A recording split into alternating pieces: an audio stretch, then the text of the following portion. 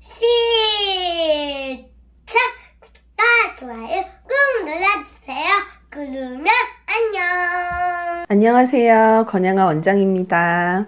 네, 오늘도 유튜브 질문에 답을 드리려고 해요.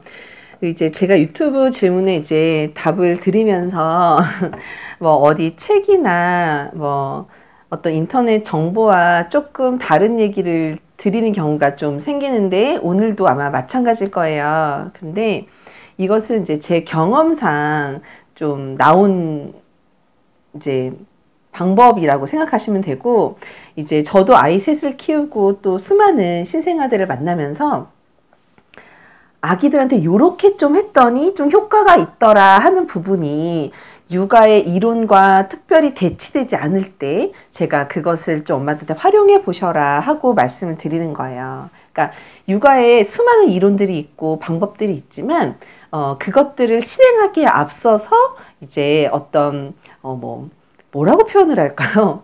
저만의 팁? 어, 이렇게 좀 생각을 해주시면 좋을 것 같아요. 그래서 오늘 질문 주신 분은 아기의 변비 때문에 연락을 주셨어요. 그래서 윤진 정님이에요. 선생님 안녕하세요. 코로나 관련은 아니지만 신생아 키우면서 답답한 것이 있어서 여쭤봅니다. 저는 34일 된 아기를 키우고 있는 초산맘입니다. 아기는 출생 당시 3.6kg로 태어나서 오늘 5kg 정도 되었어요. 진짜 잘 컸네요. 잘 먹는 애기네요. 그죠? 저는 모유 수유 중이고 아기가 태어나자마자 비타민 D와 유산균을 먹이고 있었습니다. 아기는 20일째부터 집에 와서 지내고 있는데 집에 온 후 3일 만에 묽은변을 보았고 네, 요 묽은 변은 모유수유 변이죠. 모유수유 변은 원래 좀 묽어요. 그래서 어른들 눈에 봤을 때, 어, 이거 물변 아니야? 막 이렇게 걱정하시는 분들도 있는데, 건더기가 몽글몽글 있고 묽은 변이 바로 모유수유 변입니다. 그러니까 묽은 변을 뭐 하루에 막 여섯 번, 일곱 번, 여덟 번 이렇게 싸는 게 아니라면 하루에 한 번 정도를 가지고 설사변으로 오해하지 않으셔도 돼요. 현재 12일째 변을 보지 못하는 상태입니다. 모유를 먹는 아기들은 변을 일주일째 못 볼 수 있다고 해서 기다리는 중인데 하루하루가 갈수록 아기가 먹는 양이 줄고 소아과에 가도 별다른 처방이 없어 답답함이 커집니다. 그렇죠. 아기가 변을 못 샀으니까 당연히 밀어내기가 안 되니까 먹는 양이 줄어들어요. 그래서 가끔씩 이제 분유 수유하시는 분이나 모유 수유하시는 분들께서 이제 아기가 갑자기 안 먹어요. 그러면 제가 첫 번째 물어보는 게 변은 언제 쌌나요? 그러면 3일 전에요. 이렇게 대답하시는 분들이 계시거든요. 그래서 아기가 변을 잘 못 싸면 뭐 며칠에 걸쳐서 한 번씩 싸도 먹는데 특별히 문제가 없는 아이들도 있지만 간혹 일주일이 넘어가면 먹는 양이 약간 줄기도 해요. 소아과를 여러 군데 가보기도 하고 가보기도 그렇고요. 소아과는 출산한 병원 소아과로 두 번 갔고 처음에는 장 마사지를 해주라고 하셨고 두 번째 갔을 때는 가루로 된 유산균 약을 하루 세 번 처방해 주셨고 분유를 보충하라고도 하셨고 새끼손가락에 오일을 발라서 관장을 3, 40분 정도 해보라고도 하셨어요. 음, 관장은 제가 겁이 나서 못하고 있고 분유는 180 정도를 먹어야 할 아이가 네, 180 정도를 먹는다고요? 분유를요? 어, 왜요? 음, 30에서 40 정도 먹고 지쳐서 잠이 듭니다. 모유도 그렇고요. 자, 5kg 아이가 180을 먹는다고요? 너무 많이 먹는 건데 이거 기준이 잘못된 것 같아요. 엄마 잘못 적으신 게 아닌가 싶어요. 5kg 정도 된 아이가 이제 생후 한 달밖에 된, 되지 않은 아기들은 100에서 120 많이 먹어도 120이죠. 어, 120을 먹어야 소화가 좀 편하게 되고 수유텀이 너무 길지 않아서 오히려 하루 총량이 높아요. 180을 먹는 아이들은 8kg 아이들의 양입니다. 그래서 어, 너무 한꺼번에 많이 먹이지 않도록 해주세요.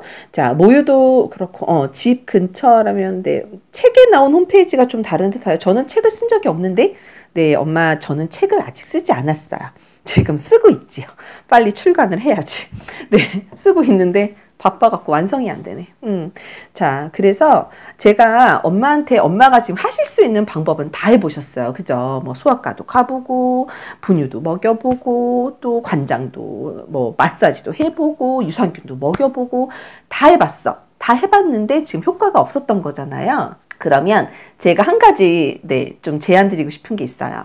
이제 생후 한 달 된 아기들은 이렇게 좀 잘 누워 있죠. 이렇게 잘 누워 있어요. 그러면 엄마 우리도 이제 병원에서 환자들이 이렇게 잘 누워 있을 때 어떤 일이 발생하냐면 변비가 걸려. 변비가 걸려. 그래서 아기들이 잘 누워 있다고 이렇게 누워 누워 있고 또또뭐 영유 방지 쿠션도 이렇게 누워 있고 계속 누워 있다 보면은요, 아기들이 변이 이렇게 중력방류로 내려오지 못해가지고 변비가 종종 오는 경우가 있어요. 그래서 제가 블로그에 아침 배변 훈련하는 법 뭐 이렇게 해서 이제 변비라고 제 제 그 네이버 블로그에 유, 어, 검색을 누르고 변비 뭐 이렇게 치면은 글이 두 개가 나와요.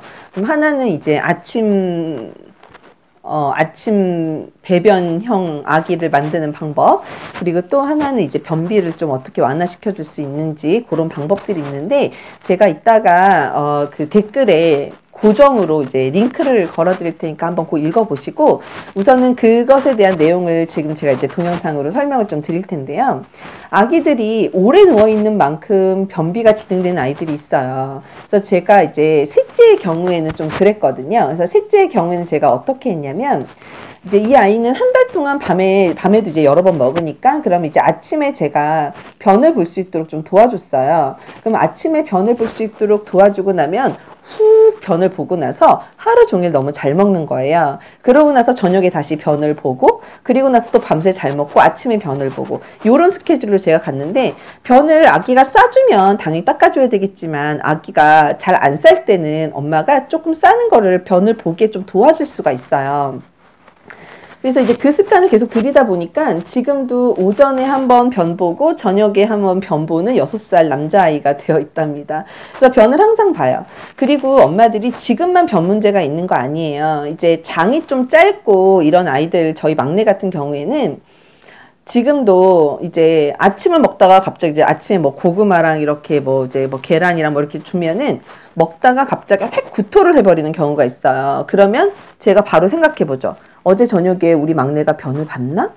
안 봤어. 그럼 이제 밀어내기가 안 돼서 위로 뱉어버리는 거예요. 소화기관이 좀 약하다 보니까. 그래서 제가 어둠 변보자 변보자 해서 제가 이제 마사지도 해주고, 네, 좀 두드려주고 하다 보면 이제 변을 보고 나면 이제 먹는 게 제대로 들어가더라고요. 네, 네 돌짜리 유아도 그래요. 그러니까 아이들이 항상 누워 지내고 이제 많이 많이 이제 움직임이 없고 자기가 발을 막 이렇게 굴러서 장을 흔들 수도 없고 이제 이렇잖아요. 그러면 이제 변비가 옵니다. 어른들도 운동하지 않으면 자꾸 잔변감이 느껴지고 변비가 오잖아요. 그러니까 아기들도 마찬가지예요. 그래서 저는 이제 어떻게 해주라고 하냐면 아기를 세워서 안아주는 거예요. 근데 이제 세워서 안아주기가 엄마들이 힘드시잖아요. 손목도 아프고 그러면 아기를 이제 신생아를 안을 수 있는 아기띠들이 여러 종류가 나와 있어요. 뭐 천아기띠도 있고 뭐 여러 가지가 있는데 그걸로 안으세요. 그래서 아기를 이렇게 안아줍니다. 자, 안아서 자, 밑에 엉덩이 부분이 이렇게 있죠. 그러면 자, 아기를 엉덩이 부분을요. 이렇게 다리를 쭉 뻗는 게 아니라 이렇게 아이고, 양말 떨어졌다. 구부려줘. 구부려줘. 구부려줘 가지고 네. 아기를요. 종아리를 이렇게 잡아요. 그리고 여기다 앉혀. 그럼 엉덩이가 밖에 나오죠. 그럼 엉덩이가 밖에 나오면 이 엉덩이 부분이 항문이 있잖아요. 그럼 여기서 밑에서 둥가 둥가 둥가 둥가 둥가 근데 엄마 이거를 아주 살살 치는 게 아니야. 이렇게 치는 게 아니야. 그냥 둥가 둥가 그냥 텅텅 텅텅 치는 거예요. 어, 그러면 이제 어떤 효과가 그리고 빠르게 치지 마세요. 얘가 흥분하죠. 천천히 이 박자로 이렇게 하거나 자 아기띠로 매면은 엄마한테로 배가 압박되잖아요. 이렇게 붙었으니까 배가 압박된 상태에서 밑에서 음, 그러면 항문이 움찔움찔 자극이 돼요. 움찔움찔 자극되면서 어떤 효과가 있겠어요? 변이 주민바로 퉁퉁퉁퉁퉁퉁 내려오게 되죠. 그래서 저 같은 경우는 아기가 똥을 안 싸면 오전에 아기띠를 안고 한 시간 동안 그냥 TV 앞에서 어, 이렇게 운동하면서 그냥 서서 이렇게 둥가둥가 치면서 아기를 이렇게 이렇게 흔들고 이렇게 둥가둥가 치면서 똥을 이제 쌀 수 있도록 변을 볼 수 있도록 도와줬었거든요. 그렇게 하고 나면 이제 변을 훅 봐요. 그래서 너무 변을 안 싸는 애기들 같은 경우는 엄마가 한 작정하고 한 시간에서 한 두 시간 정도 변을 쌀 때까지 좀 요거를 좀 해주시면 좋아요. 만약에 그렇게 했는데도 안 쌌다, 그럼 오후에 한 번 더 해주세요. 그러면 보통 변을 좀 보거든요. 네. 그리고 이제 또 하나의 방법은 아기 엉덩이 이렇게 두 쪽이 있잖아요. 두 쪽이 있으면 이 두 쪽을 하트 모양으로 마사지 해주는 거예요. 자, 요렇게. 요렇게 마사지 해주는데 두 손으로 이렇게 해줄 수 없잖아요. 그러니까 아기를 엉덩이 이렇게 쭉 빼서 종아리를 잡아서 허벅지랑 엉덩이가 쭉 나오게 해주고 여기서 엄마가 자 기저귀 안으로 손을 넣는 거야. 응.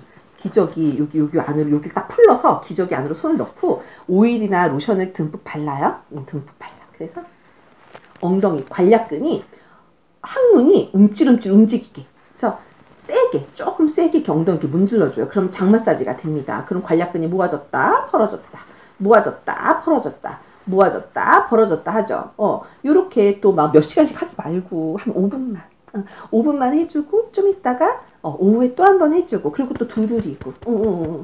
자 그 다음에 이쪽 해줄 때는 어떻게 해야 돼? 응, 그럼 아기를 데리고 와서 다시 이쪽으로 안아야지. 어, 이쪽으로 이렇게 안고 또 여기도 요렇게 요렇게 네.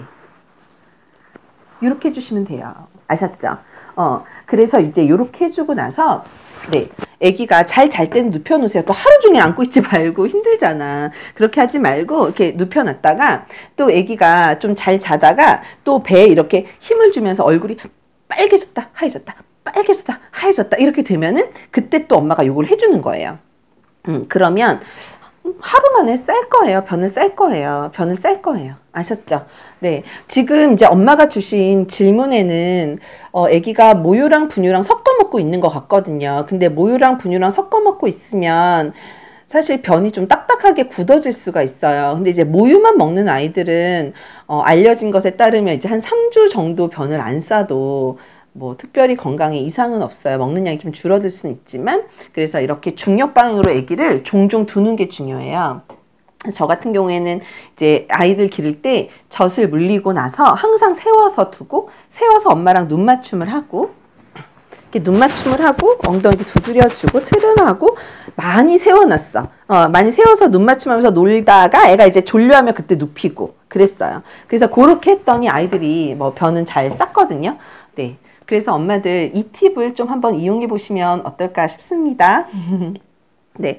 우리가 아기를 키울 때 보면은요, 정말 먹는 건 먹는 거대로 걱정, 싸는 건 싸는 것대로 걱정, 그죠? 뭐 하나 마음을 놓을 수가 없어요. 그죠?